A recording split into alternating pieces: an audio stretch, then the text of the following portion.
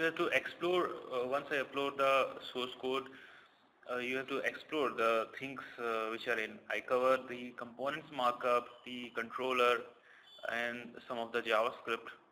Though I could uh, explain more other stuff like enqueue action and uh, uh, why, how we are, why we are doing this console dot log. If you have not come from Salesforce background, if you have not much idea about Lightning components, so there could be so many stuff. Uh, so uh, as uh, this entire motive of this channel which I am making videos for is to set a, brief foundation as kind of a uh, get to hang of things and then uh, start building apps on that. Uh, so I think I have covered that, at least I have tried to. So with this I will be posting these videos. It would be available in YouTube and in Facebook also for my friends in Facebook so that, that they could learn a few things as well. And uh, this thing is, it's, uh, it, you have to have some uh, knowledge of front end also if you want to dive deep into that.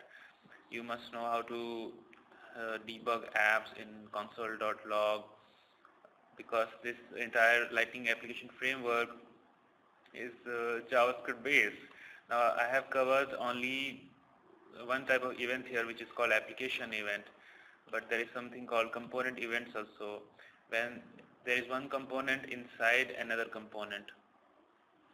I mean uh, this component is here accounts and this another cases.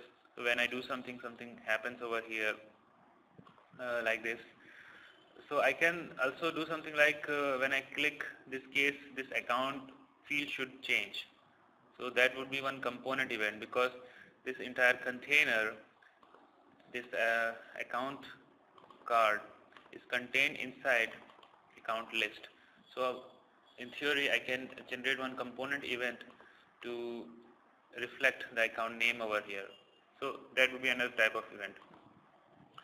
Other than that I have uh, covered almost all the things that are in Lightning which are uh, how to integrate JavaScript and Apex controller, how to bind them, how to register events, how to fire events, most of the stuff. I've covered CSS also to a great extent.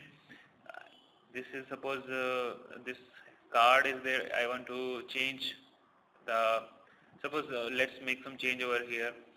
We have something called border radius property which would be it's not reflecting.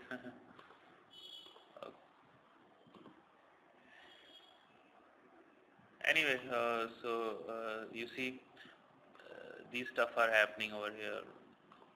So basically you have to identify inspect element and there are so many stuff play around with this once I upload the uh, source code uh, you, it would make more sense this whole philosophy of Lightning is to uh, make component-based development. When you make some changes to this component, you have to focus.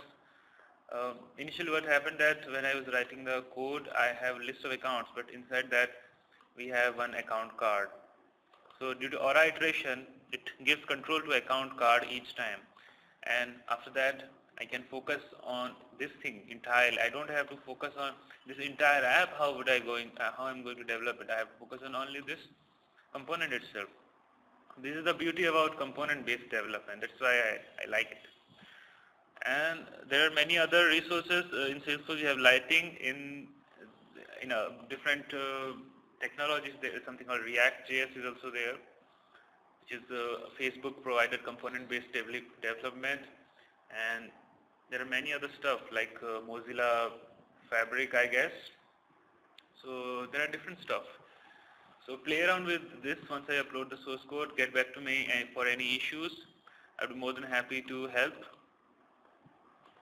And uh, please like, subscribe, and share these videos if you find it interesting. Let me know uh, how you, uh, if you have any feedback. I would definitely work on that. So with this I end the video over here. If I come up with another scenario, if I develop more Lightning apps, I will explain them and I'm always happy to help you. Thank you for watching. Bye.